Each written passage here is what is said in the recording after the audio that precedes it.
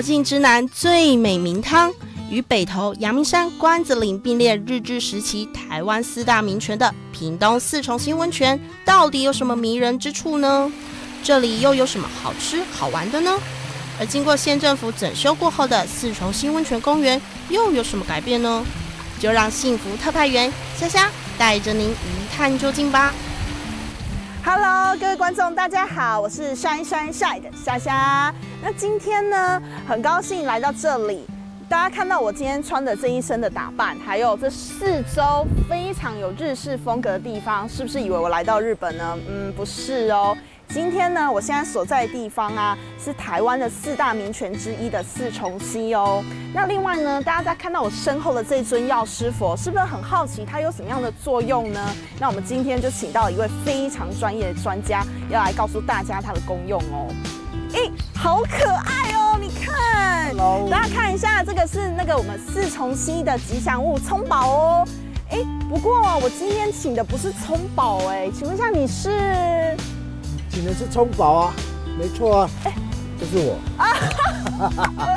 太可爱了！这位呢是我们四重溪温泉观光协会的那个总干事张正生总干事哦。总干事，你今天好用心哦，还打扮不一。样的东西，因为今年的吉祥物做的特别可爱，我嗯，想要带着这个出门。哇，真的太用心了。那我们今天呢，一定要好好的来玩一下四重溪，来认识一下四重溪哦。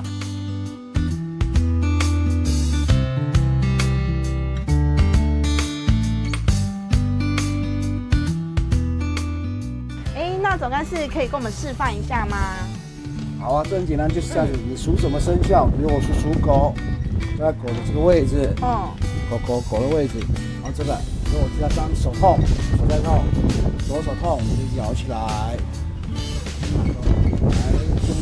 来，痛痛不见了，痛苦不见了，这样子。原来呀、这尊药师佛的设置是县长带团到日本取经后的创意发想，并由佛光山副住持慧仁法师进行洒净典礼及开光，不止可以为旅客、居民消灾祈福，还可以治愈病痛呢。还没来试过的朋友，可千万不要错过喽！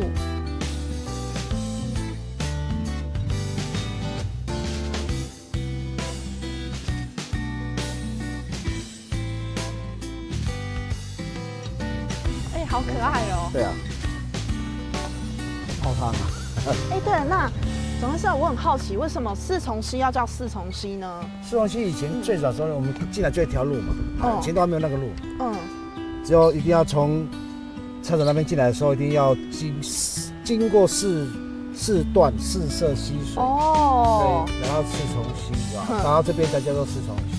而现在啊，我们所看到的四重溪温泉公园，可是经过县政府花费好一番功夫，才改造成现在的样貌呢。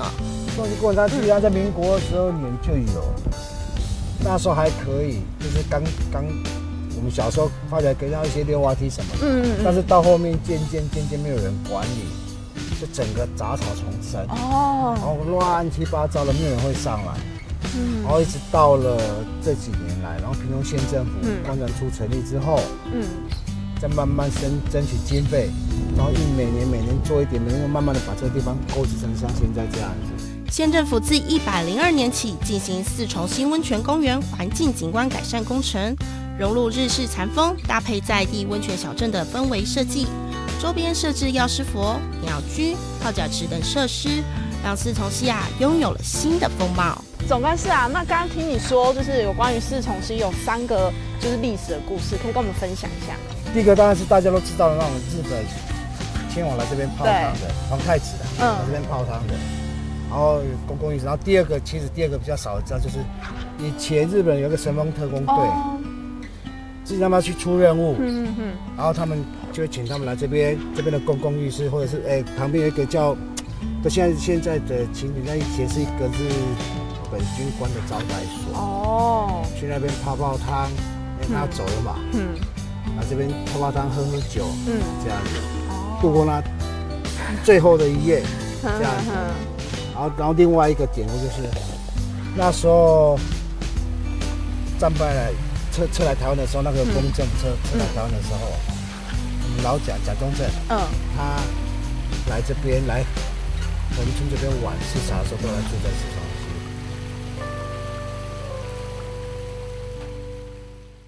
听着总干事叙说着四重溪的故事，让我的脑海里有了无限的想象。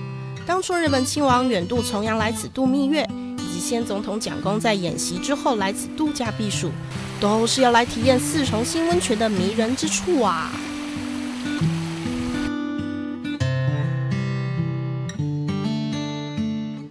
而这次啊，县府更为温泉公园漆上一层层鲜艳色彩，除了一片花海映入眼帘之外，还将吉祥物葱宝化身弯腰油桶葱宝、弹月琴葱宝等可爱的装置艺术，让人手机相机按个不停，超想把葱宝带回家。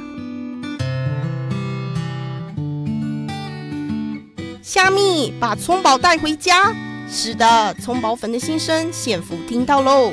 只要在温泉季期间于四重新住宿，即可免费兑换葱宝纪念品，如漱口后背包、记事本、折叠伞等等。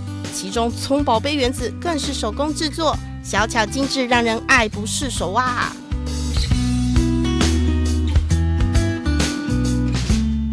温泉公园还有一个非常有趣的亮点要推荐给大家，就是这幅 3D 彩绘怪物大水坑壁画。找好拍摄角度，让人仿佛真的置身危机当中。这么难得的经验，当然要留下纪念照片喽。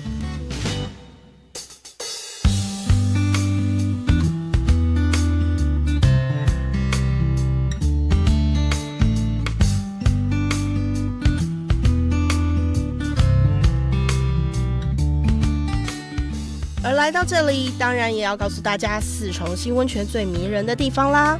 这次虾虾选择的就是日本亲王蜜月时莅临的清泉日式温泉馆。当时的木造汤屋日式风格浓厚，到现在都还完整被保留着，迄今已有百年历史喽。那我们现在呢，跟大家介绍一下四重溪温泉哦。其实它是在日治时代的时候呢，就跟北投啊、阳明山还有关子岭，俗称台湾名泉，就四大名泉之一哦。那这边的呃四重溪的温泉水啊，它不仅可以饮用，而且呢，它是那个呃终年温度都保持在五十到六十度之间。还有它的呃水质呢是呃所谓的碳酸碱性的碳酸泉，那加上这边的环境啊，群山环绕的秀丽景致，这边真的是一个泡温泉最好的一个首选之一哦。那我们现在来访问一下，就是我们来这边泡温泉的人呢，他们为什么喜欢来这边泡温泉？不好意思，你好，嗨，哎，我想问一下，你们常常来这边泡温泉吗？常常排泡，那为什么会喜欢来这边泡温泉？因为这边感觉上那个它的那个景色不错，嗯，啊，然后哎停车也方便，它这边的水质也相当蛮好的。那有没有觉得来这边泡温泉之后，有一些比如说身体的一些呃疼痛啊比较舒缓？睡眠方面啊可以改善啊，它还可以我们的筋骨方面也可以疏通筋骨。它还有养颜美了哦，真的哦，看小姐这样子，应该很常来泡温泉，哎，蛮养生的。好，在这里又蛮方便的，真的哈。好，谢谢你，谢谢。然后呢，听完了刚才那位姐姐讲完之后呢，我们捕捉了到一位野生的小帅哥，我们来访问一下他。你好，哎，想问一下，你常来泡温泉吗？第一次来。哦，真的吗？对。那怎么会想要来这边泡温泉？因为刚好就是有看到呃。政府补助的那个计划，然后我们就来这边泡温泉这样。那感觉怎么样？哎，就是因为我本身是做物理治疗的，然后因为平时要做一些按摩的手法，现在就是来这边泡的话，会觉得很放松。对，所以非常推荐给大家。对对对对对。好，谢谢你，谢谢。四重溪温泉呐，不仅可以饮用，还有缓解病痛的功效。另外呢，可以促进血液循环以及新陈代谢，就是这些不胜枚举的好处，以及周边的秀丽景致，让居住于高雄的陈小姐几乎每个周末都会驱车南下，享受这一刻舒服惬意的时光。哎，总干事啊，我觉得我们刚刚就是泡完温泉啊，然后跟可爱的葱宝拍完照之后，我的肚子好像不争气的叫了。来是重溪，除了泡汤啊、祈福啊、冲宝拍照之外，最重要的，不要忘了常常在地的野味餐。哇塞，天哪！我光听到我口水已经快要流出来了。超好吃的，走吧，我带你去尝尝在地的野味餐。好，走。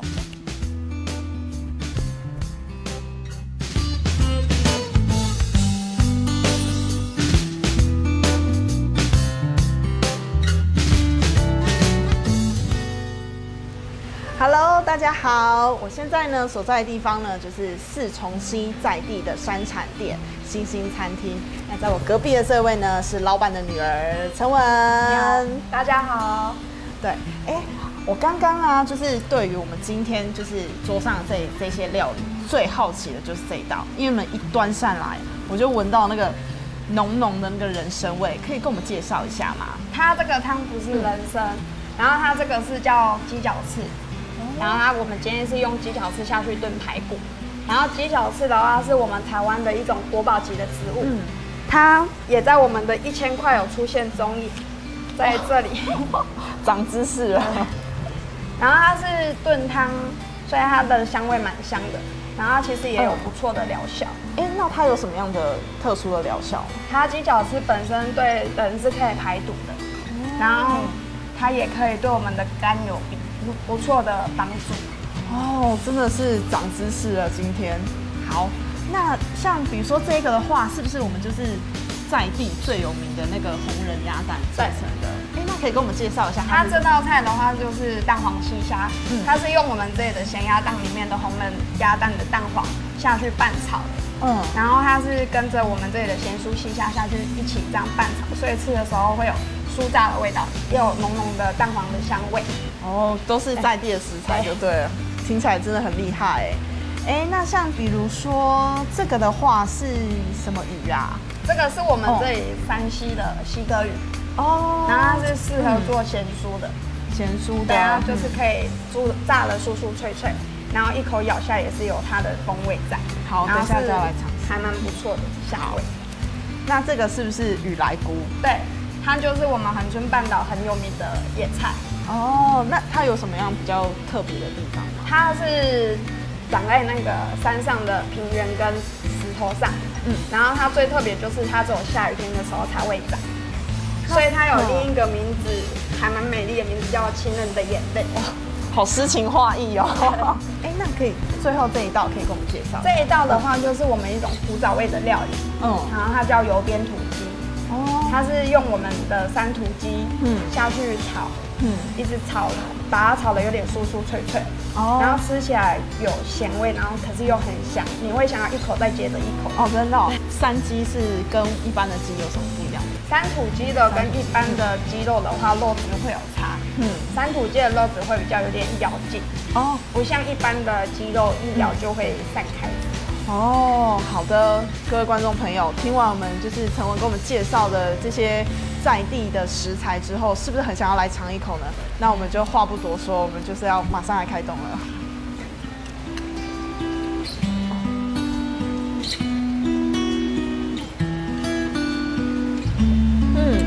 甜呢，好甘甜！啊，我觉得啊，在这个四重溪温泉的这个地方，真的是太幸福了。在冷飕飕的天气里面啊，泡上一个暖乎乎的温泉，然后欣赏这个美丽的景致之外，哇，吃上一顿就是人间美味的美食，我真的觉得太幸福了。其实还有。然后这边你就可以沿着一九九仙岛往里面玩哦。那边牡丹乡的东园森林游乐区，那边超漂亮的，也很漂亮，可以去玩。哦，真的吗？好啊，那我们事不宜迟，我们出发前往下一站吧。走。哇哦，既然来到车仁乡四重新玩，那就一定要继续沿着一九九仙道往上走喽，欣赏沿途美景，抵达牡丹乡东园森林游乐区，探索排湾族祖先的智慧，体验水上草原的奥妙美丽。这样呢，才真的是一趟真正放松、亲近大自然的生态之旅啊！各位观众，有没有感觉我现在置身于森林之中呢？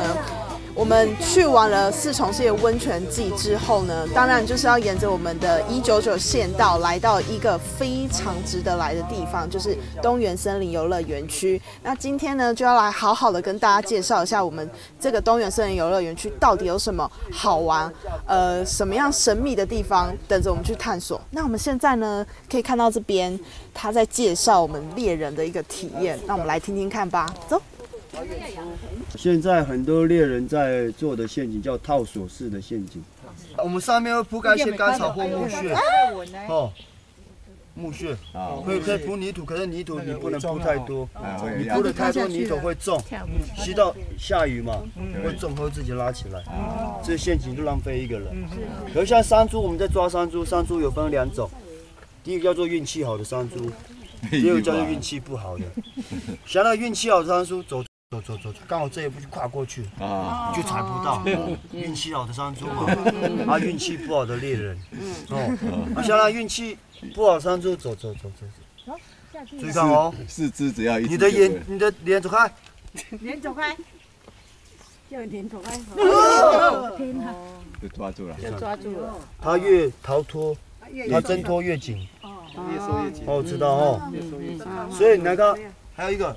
像如果我们这个陷阱那么小，你抓到山猪，大的山猪就会断掉，断掉，百分之百会断掉的。所以我们老人家已经准备好了，他这个地方会再附加绳索，绑在比较大棵的树身上，绑起来。这个断掉了，嗯哼，它还有大大的，它还有一条线可以撑住。因为这个它只有这个效果而已，它只有弹性，剩下的就交给另外一个绳子了。这就是老人家的智慧。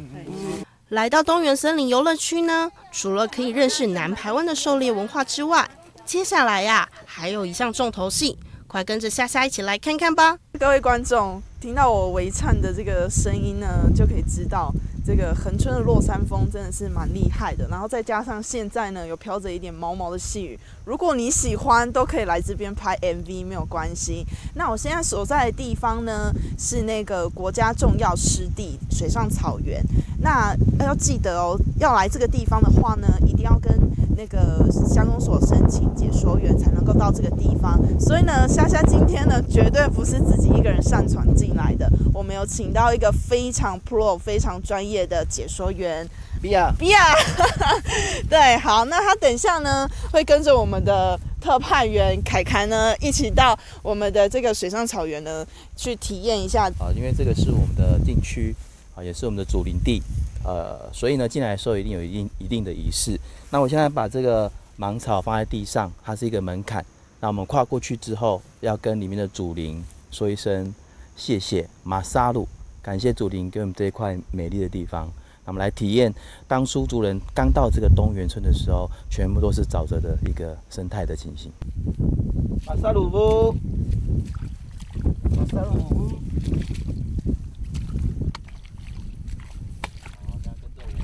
好，跟着我。们很喜欢在上面跳舞啊，我教你一下原住民舞蹈好了。好，好，来这边哈。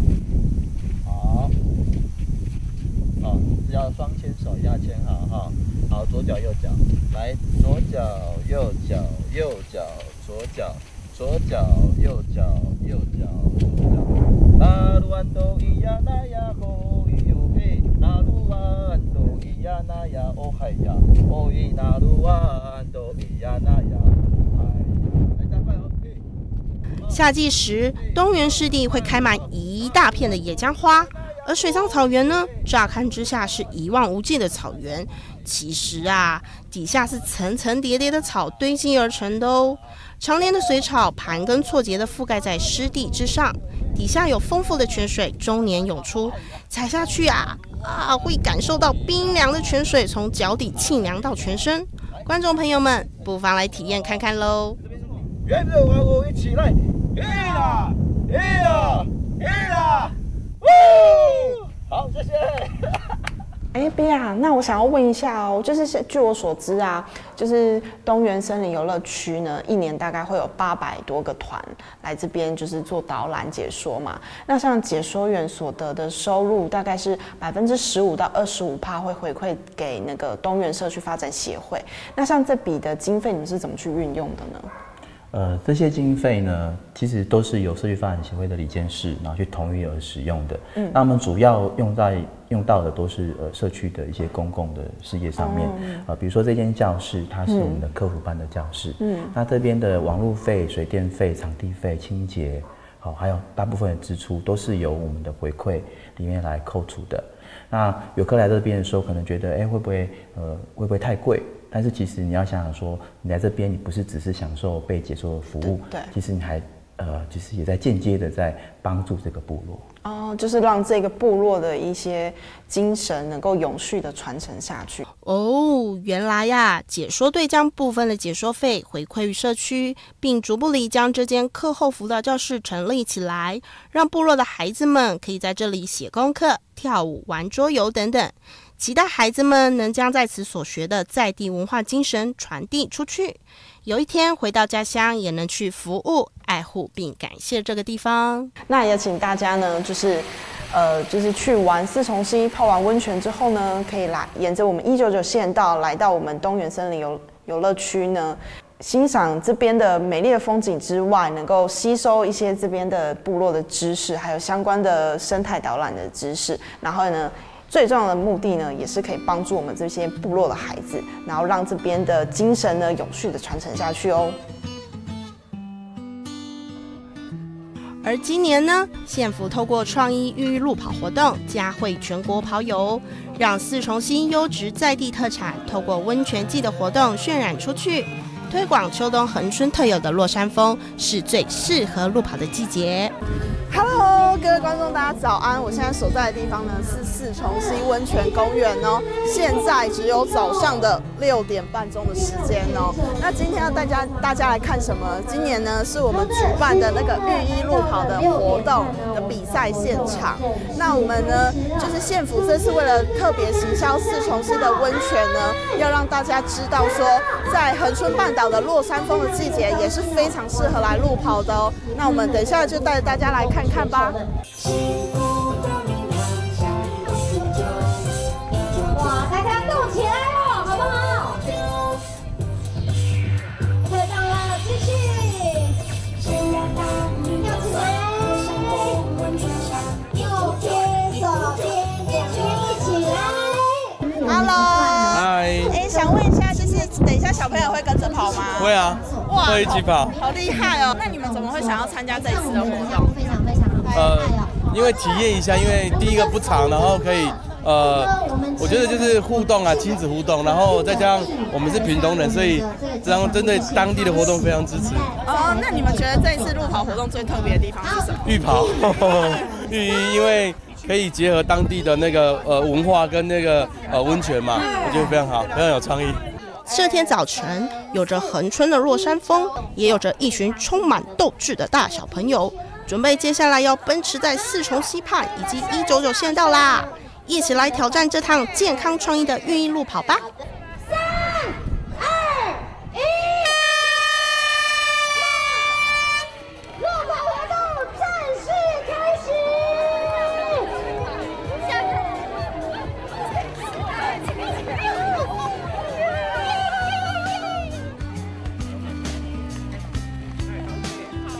观众朋友，现在我们在所在的地方呢是关卡二。那跑到这边的人呢，要吃完莲雾，还有我们的那个绿豆蒜，才能够过第二关，继续下一个阶段哦。我们来看一下，很好，下次还再来。我们现在捕捉到一位先生，他现在正在吃着品尝的美食绿豆蒜。哎，刚才这样跑会很累？不会，完全不会，完全不会累，真的吗？好吃吗？好吃，非常好吃。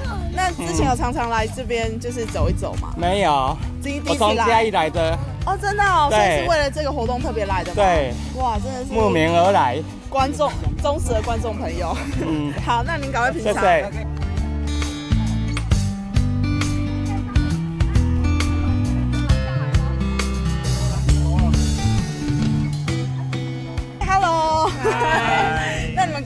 会不会觉得很累？还好，还可以，还好。啊，这是第一次参加这样的活动吗？趣味性的是第一次，所以之前也有跑过其他路跑活动。那怎么会想要参加这一次的活动？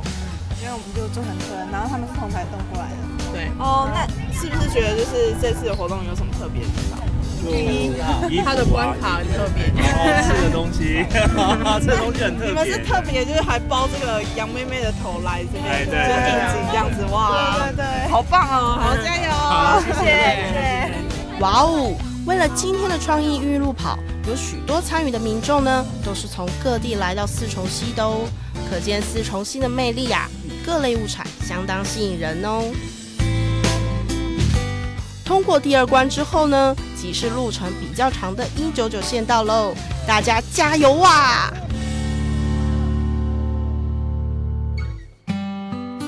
好，各位观众，我们现在呢在四重溪寓意路跑的一个中间的折返点，叫做石门谷战场。那等一下呢，我们看到那边有一些饼干啊，什么样的一个关卡呢？等着他们来挑战。那我们现在来看看吧，走。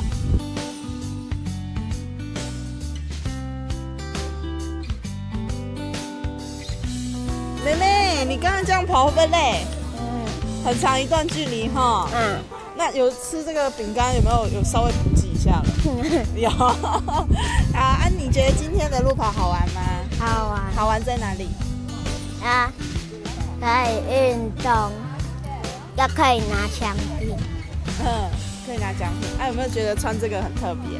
嗯，穿着这个跑很特别。那之后还要不要来参加？有。我们捕捉到了一个非常负责任的好爸爸。哎，爸爸，你是从头到尾都推着 baby 这样子跑吗？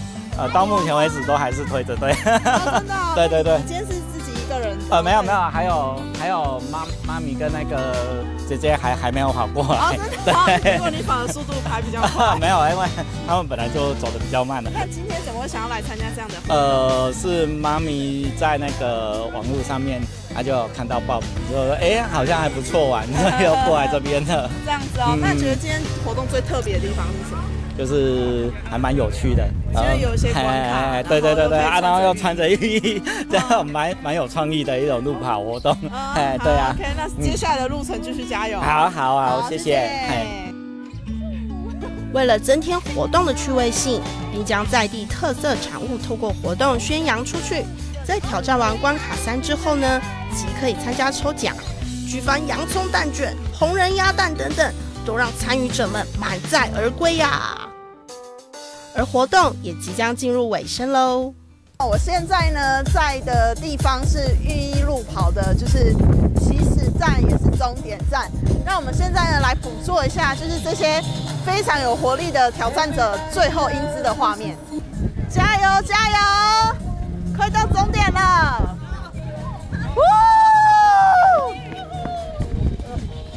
那我们现在呢，就来访问一下，就是他们挑战完八公里的路程的一个感想。会不会觉得很累？会，会很累。好，那你们就觉得，就是今天来挑战这一次的运动，最值得的地方是什么？再次回到现场，看到在地风光，看到在地风光。那有没有觉得，就是这是一个很难得的经验？很难得，很特别的经验。穿着雨衣跑真的很难得。那为什么会觉得特别？因为沿路跑还有在地美食可以吃，然后还有穿这个，穿这个跑，哇，真的非常值得。好，那如果下次有办好，会不会还想要再来挑战一次？会。好，那我们跟镜头就是比一个胜利的手势，耶！这一次的四重溪温泉季提供了几个特色呢？第一个，我们就知道我们有之前提供一个千人飨宴。我们知道哈，温泉区有很多美食哈。那另外呢，我们有非常多的在地艺术在这边设置装置艺术哈，可以打卡拍照。那各位观众可能会可以感觉到我们的公园做了很多的花海艺术哈。那另外呢，就是在这一次四重溪温泉季的 ending 的部分呢，我们就是提供一个创意性的浴衣的慢跑。那我们吸引了将近有三百多位的民众哈游客来这边参与哈。各位观众朋友，还在犹豫秋冬时节要去哪里玩吗？看完了虾虾介绍的四重溪温泉，加上东园森林游乐区一日游后，是不是迫不及待想要出发了呢？快快远离都市喧嚣，来一趟最悠活自在、轻松惬意的温泉小旅行吧！